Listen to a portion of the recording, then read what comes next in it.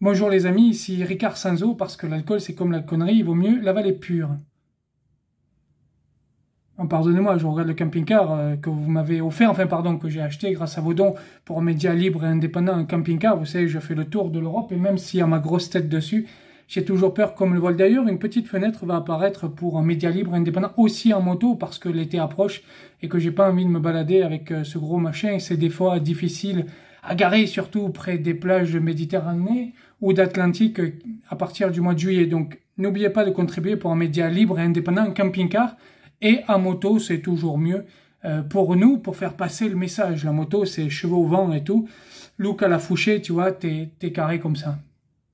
Alors aujourd'hui, je suis ici à Genève pour vous parler du procès de Nuremberg 2, puisque nous sommes en train d'organiser le procès de Nuremberg 2. Alors euh, vous allez me dire, les amis, pourquoi à Genève? Eh bien parce que nous avons fait un test euh, cette semaine avec Dieu un second, Poutine, et puis euh, Satan premier du nom, Biden, pour voir si les Suisses étaient capables de réunir tout le monde. Parce que le problème que nous avons, et j'en ai parlé à Emma, euh, je lui ai dit, voilà, écoute, à Nuremberg, il n'y a pas assez de place pour tous les prévenus, tous les avocats et tous les juges. On est quand même en train de juger, nous autres, l'ensemble de la planète, il y aura un million de prévenus, deux millions d'avocats, dix millions de journalistes, et puis ça va pas rentrer à Nuremberg. Il faut être réaliste, il n'y a pas assez d'hôtels. Et puis, c'est pas forcément assez luxueux pour nous. Moi, ça fait déjà des mois que je ne tempe en camping-car. J'ai peut-être envie d'avoir un peu plus ailleurs. Une petite fenêtre va apparaître ici pour m'offrir l'hôtel d'un média libre et indépendant pour Nuremberg numéro 2 qui se passera en Genève. Et puis, je lui ai dit, ma chère Emma, il faut louer toute la Suisse.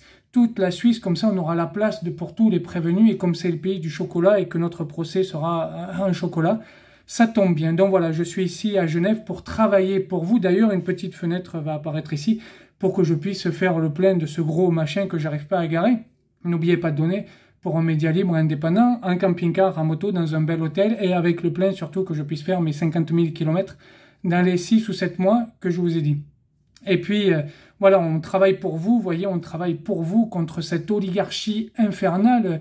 Hier, euh, j'ai vu Satan premier du nom, j'ai failli lui tirer dessus, mais malheureusement, Eman avait qu'une chaussure et j'ai dit, tirer au loup boutin sur Biden, je ne suis pas sûr que le euh, le symbole sera assez fort. Voilà, je vous remercie de m'avoir suivi. Je vous dis à très bientôt pour une nouvelle minute de Ricard Sanzo parce que l'alcool c'est comme la connerie, il vaut mieux la vallée pure. Merci, au revoir.